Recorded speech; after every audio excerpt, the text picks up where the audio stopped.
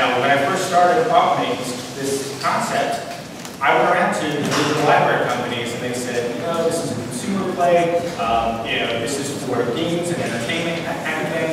And I said, gee, I think this is more for business and industry. And it's only been recently, in the last six or eight months, like Google has come around and said, you know, Google Glass at work and that kind of thing. Uh, so I think folks are, are coming around to this idea, I think that's where the money is. If I can cut down the time that we have to talk for revision decisions on if we want this to be a particular color of a panel, or uh, actually want to redo this type of bar that we're building, that cuts off a time you have to go to the field and time you have to put into drafting. So that's, you know, you're saving significant amounts of time and money uh, just in that revision cycle. Not only that, but I can show my clients up front, and this is for anything, uh, from architectural to little CAD pieces, pieces that are built to, you know, one-off.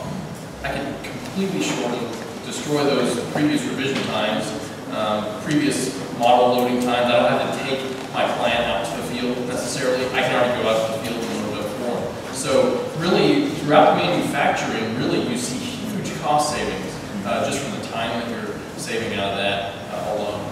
The one recently went to, went to a missile factory where they make missiles. And, you know, if they mess up on putting this thing together, it costs the government like two hundred thousand dollars per error. And then on this missile, which is bigger, it's a million dollars, right? And I'm like, oh, okay, cool, so where's, what do you guys use for your catalog, for your maintenance manuals, right? And they pull out a binder, a three-ring binder about this thick, and they open it to the first page, and there's a graphic of the nose cone. And they go, yeah, we just got the graphics there. Three, three months ago, we're pretty proud of it, pretty excited about it. We got 2D graphics now. You're just like, you know, are you are you kidding? This is this is how the guy is putting together uh, Tomahawk missile, or whatever it is. Uh, augmented reality allows you to put an arrow right where they're supposed to put the screw, right here, nowhere else. Do it there, and your brain can respond to that, and it'll have fewer errors. And so, what we're talking about uh, building up to, and I think gaming will actually be the first multi-billion-dollar play in this. By the way, the, only, the kids are only going to wear glasses if it's funky.